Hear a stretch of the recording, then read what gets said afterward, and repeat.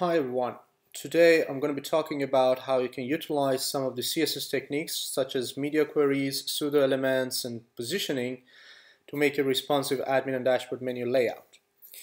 Just wanted to mention that the reason why I haven't made a tutorial last week is that I've been working on a website to better provide you guys with a cool tips and tutorials in web and development.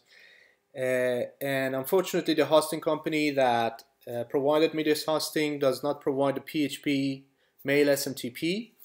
And uh, the reason why I wanted to, to have that is I wanted to make a, a newsletter where you, you guys can subscribe and get notified for the new tutorials uh, that I make. Uh, just let me show you the website. It's called kodhus.com. Uh, just bring it out. Uh, you can see that you know I have already added a bunch of tutorials, including the one that I'm going to show you how to created. And uh, you know it's good to be notified every now and then with the tutorials that I add here but unfortunately uh, I don't have the newsletter at the moment. So please go ahead and like over here uh, so that you get notified. And uh, the good thing about this is that apart from the videos you can have text if you uh, are not really into uh, you know the video tutorials you can you can see the and read the text and then you can download the source code you can demo you can see the demo of it. And all right so again don't forget to subscribe to my channel and let's get started. So the idea is that we have this site navigation and if you re resize the page you can see that the elements in the page resize. Especially this guy you can see that we are in the tablet view right now and the view has changed uh, to best accommodate the size that you have. And also if you go to the mobile version and resize it to the mobile version you can see that you have the navigation over here. So if I resize again you can see that the menu changes and that is pretty cool.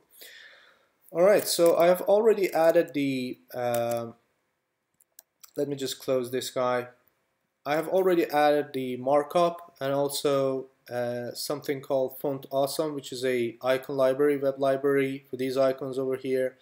And also I added jQuery for the, uh, you know, the trigger that you click on the mobile version you see the view.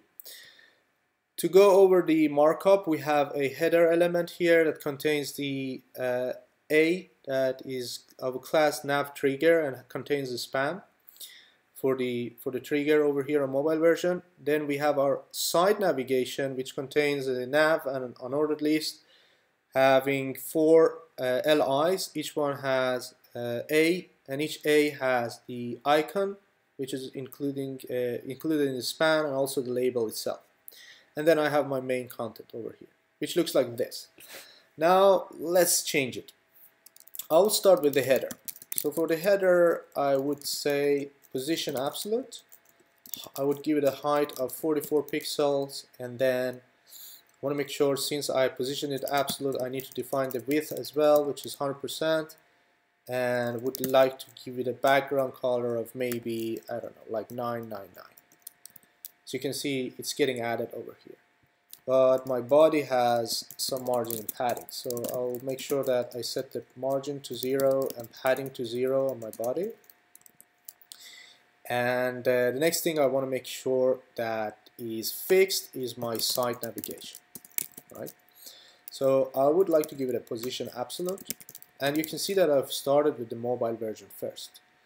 And then I will use media queries to build the uh, in the tablet view and also the uh, desktop view. So position absolute would like to give it a width of 100% give it a background color of maybe I don't know maybe 666 and then I would like to give it a height which I would like to cover the whole viewport which is 100 VH so viewport height.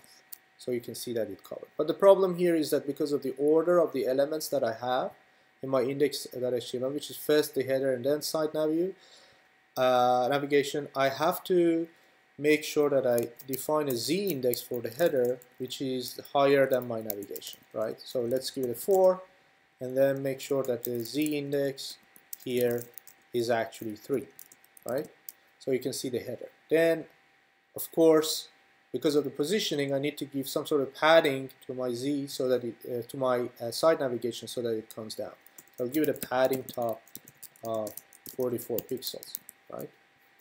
Looks good. So we have our header, we have our uh, you know element as well. You can see that you know when I added this padding, you can see that the page scrolls. That I don't want. In order to fix that, I would like to reset all of my elements and set the border box sizing to border border box, right? And now you can see that I don't have any sort of scroll. The reason is that when you set the box sizing on all your elements to be border box, the padding gets included into the height. So the padding that I've defined over here, which is 44 pixel, is actually within the height of my element, which is pretty nice, right? And now what I would like to do is to style these guys. So I know that I have in my side nav, I have a UL element.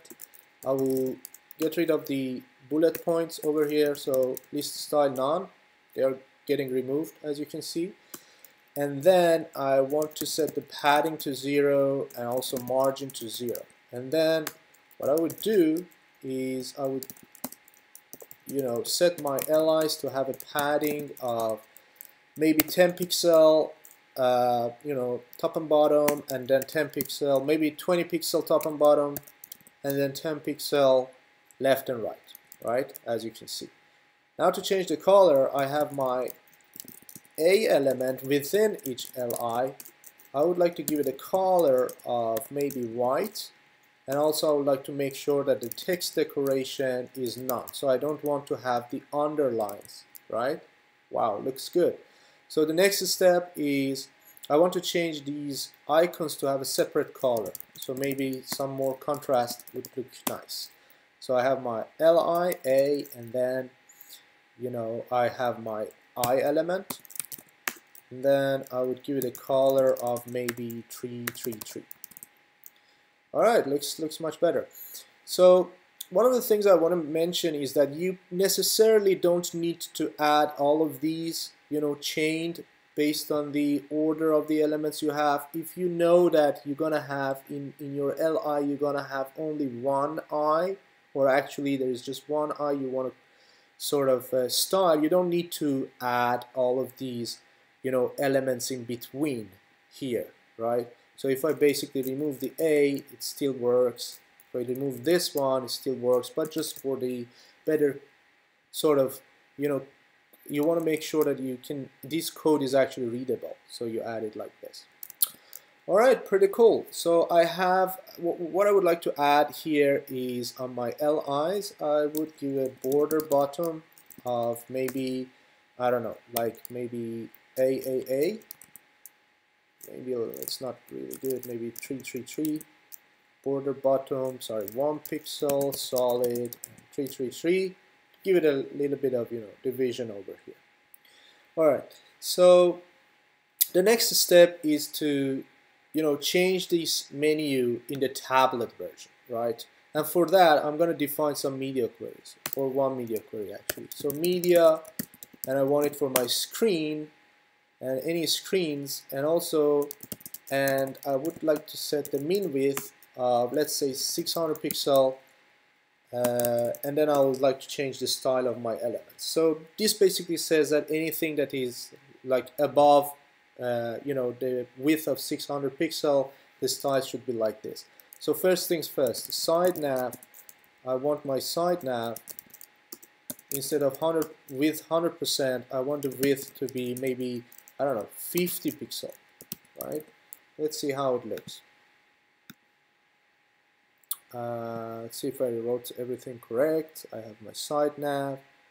Uh, screen and min width 600 pixels. I want my side nav to be yeah looks to be correct. Uh, so let's see why it doesn't change. Side nav width 100% side nav uh, media screen and the side nav width 50 pixel. Supposedly it should work. Media okay I haven't closed this guy here Alright, now you can see that. And also, what I would like to do is that maybe, maybe, maybe this is a little bit small. I would like to make it maybe 80 pixel, right? Alright. Also, I would like to get rid of these labels. So what I do is that do my site nav, I have my UI, LI, and my, as you can see in the index, each LI contains an A, and each A has two spans, right? I want to get rid of the second one. So what I would do is that I would do span, but nth child second, not the first, but the second. I'll set the display to none, right? You can see that they are all removed. The other thing that I would like to do is actually make sure that my uh, icons are a little bit bigger, right? I'll do I, maybe font size, something like 26 pixel. See how it looks? Maybe even side nav, sorry, side nav. And yeah, they're pretty good, but unfortunately they are not centered. In order to center them, I have to center the alignment of the text inside my LIs. So do side nav, UL, LI, and then text align, uh, sort of center, right? You know, okay, it's pretty cool now. So as you can see, if I resize, it's like this, and then if I go to tablet, it looks something like this, right? And then I'll go ahead for the desktop version. I need to add another media query.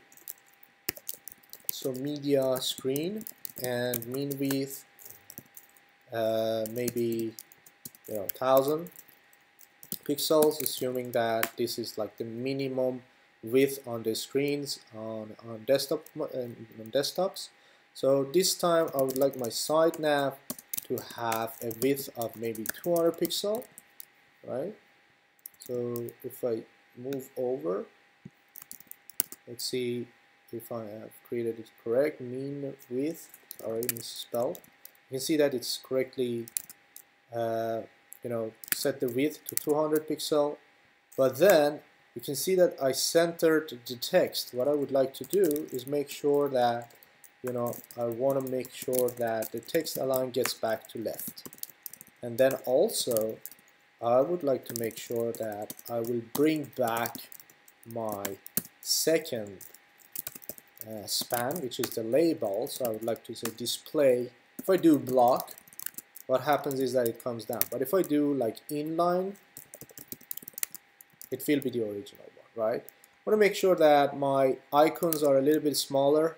So I would do site nav, my unordered list, and then my I, I want to make sure that the font size goes back to 40 pixels and maybe even bigger you know it's all what you want to make alright so as you saw this is our mobile version this is our desktop version and this is uh, this is our tablet version and this is our desktop version the last thing I want to know, I mean, you can go, you guys can go ahead on the website and download the source code and see it. Uh, but the last thing I want to show you is how you can basically, because we have main content as well over here. We want to make sure that the main content shows up correctly because we've changed uh, the width of the nav bar a lot over here. So for the main, before the media queries, I have my main content.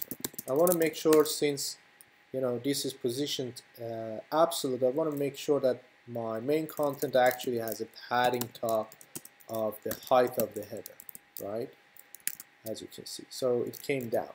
But also, I mean, if you look at this here, you know, you see that it's not correctly aligned because we have set the width over here 80%. So what I would like to do in my first media query for the tablet, I want to make sure that my main content has a margin left of 80 pixel, which is the width of my navigation, so that you can see that it correctly aligns. And then for the desktop version as well, I would like to do that and set the margin left to 200 pixel, you know, the height, the, the width that I defined over here. And then if I go over and make it bigger, you can see that it actually aligns pretty good. All right, so again, don't forget to subscribe to my channel. Also go to kodhus.com, view the tutorials that have been added. Go to this this one, the, the last or the first one. Don't forget to like these and then you can pretty much show the demo it and you can go ahead and download here. Gets downloaded for you. Go ahead and take a look at the you know the CSS, the you know JavaScript, a lot of bunch of other things that you can see. Uh, you can see that I've already added all the styles, so everything is set. Uh, I wish that you like this tutorial and please help me doing these things you know uh, I really like to teach people uh, my humble knowledge that I acquired during the past 10 years. So alright thank you very much. Have a good day and night and see you next time